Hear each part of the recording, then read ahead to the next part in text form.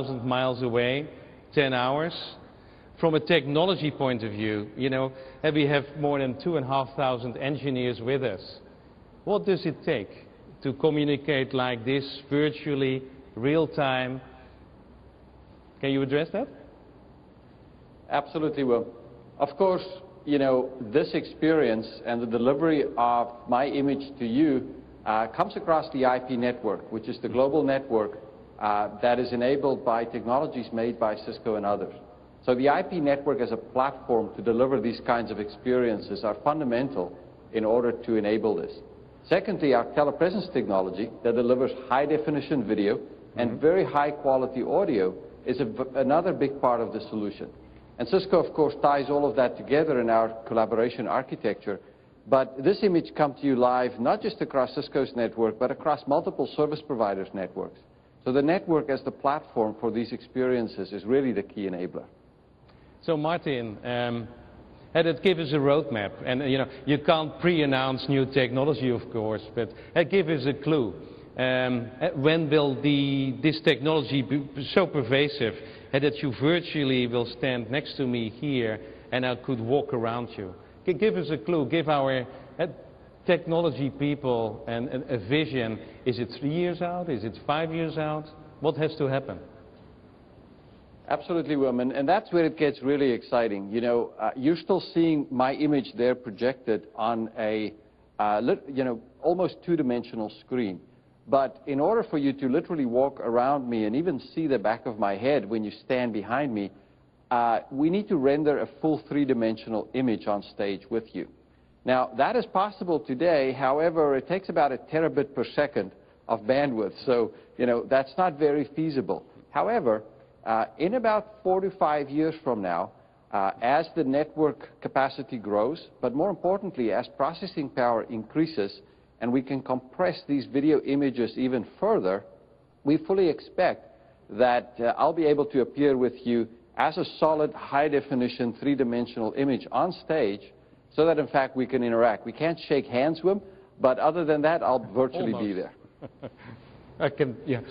Martin, again, eh, that we have a, a, specific role with CCIE engineers, and, and eh, that I, I talked about the Internet of Things, about new industries that will be created, uh, a different way that citizens will consume services, e-governance, but also healthcare, education. I think that it will create fantastic opportunities and that nowadays uh, some of our CCIE engineers um, are certified in five technologies. What do you think, being responsible for emerging technologies, and it uh, leading uh, the technology um, development in Cisco for smart grid, um, for transport, and for a couple of things you don't even want to talk about yet. Will there be DECA certified, certified engineers? That's a great question, Wilman. And when you think about technology, I absolutely agree with you that technology will drive country transformation uh, in a sustainable, but also in a, uh, a scalable manner. And that is where it becomes really exciting because location will become less important, but knowledge will enable this transformation delivered through technology. And whether you talk about education delivered in a virtual model, or whether you talk about healthcare, or whether you talk about you know, exporting talent from your country or importing talent into your country, depending on the need that exists, uh, those geographic boundaries and the boundaries of distance and time is going to start fading away. And it becomes really, really uh, fascinating and exciting as countries like Bahrain, in fact, think about how they transform their country, how they make it more sustainable, more competitive, and more fair in terms of what they're trying to do. So, Martin, you repeated uh, what this whole conference and this networking session is going to be all about. It is knowledge is power. It's about the vision of Bahrain, about competitiveness, around sustainability and fairness. So, in closing, Martin, if you address almost 3,000 engineers, should they invest in knowledge? Should they embrace this Internet of Things? Should they learn constantly to become perhaps DECA certified CCIEs with innovation coming out of this world? what would be your closing remark to inspire Martin and to motivate? Well, you know, um, uh, I'll, I'll say what I often say to my own children, which is, you know, it, the future will be about what you know, and it will be about knowledge. So the better educated you can become, uh, the bigger the role will be that you will play in the future, whether it's, you know, working in energy and smart grids, or whatever role you may have in the future. And so when I'm an engineer sitting in that audience, uh, you know, I would absolutely encourage you to, to embrace where technology is going, but then consciously think about how you can use it in your own role and in your own job. Because technology enables every one of us to be an innovator uh, as we think about new ways to work, live, play, and learn. Uh, and if we apply technology in a, in a, different and a new manner, we, we all innovate. And that's the exciting part about this web. Martin, thank you very much for joining us virtually. I know it's an, uh, an early morning for you. Thank you for that. And you have a long, productive day to go. Ladies and gentlemen, Martin de Beer. Thank you, Wim.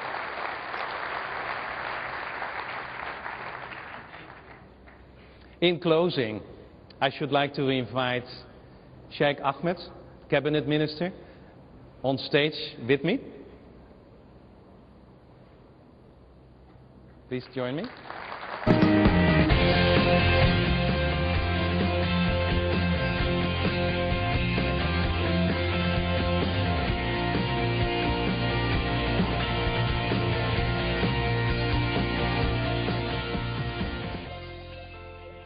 Highness, Excellencies, dignitaries, business leader, press, media, distinguished delegates, it's my great pleasure to welcome you all to Cisco Networkers. For friends on return journey, I'd like to welcome you back to Bahrain. For new visitors, I hope you benefit from the experience of attending Cisco Networkers and leave us with the lasting memories of the warmth and hospitality of the Kingdom of Bahrain. Before looking to the future, during Cisco Networkers, I'd like to take you into our past. And quote, the land of Dilmun is holy, the land of Dilmun is pure. These words come from one of the oldest poems in the world. It was written 4,000 years ago in the ancient Sumerian city of Nippur.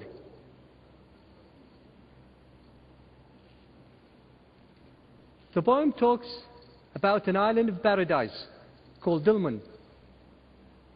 Closely resembles the Garden of Eden, where death and sickness does not exist and sweet water flows.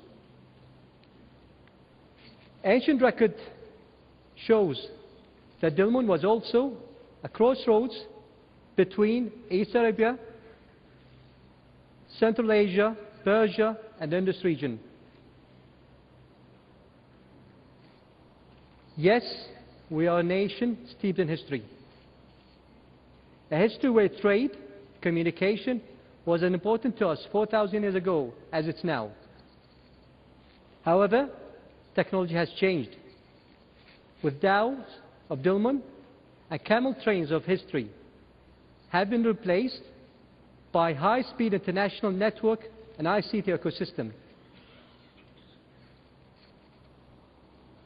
My relationship with ICT began in 1988. And by 1995, a strong strategic partnership had developed between the government of Bahrain and Cisco. Together, we have delivered the Government Data Network, or the GDN, one of the first network of its kind in the world. Today, we are working together to meet our strategic goals set within our National Economic Strategy 2030, including increasing capacity of our network and as well ensuring the highest level of government services available to the public and businesses. I believe in ICT. I believe in e-government. I believe in education, e-commerce, telemedicine and more. I believe in ICT as the main driver for the economy of the Kingdom of Bahrain. I believe in ICT as a pillar for attracting global business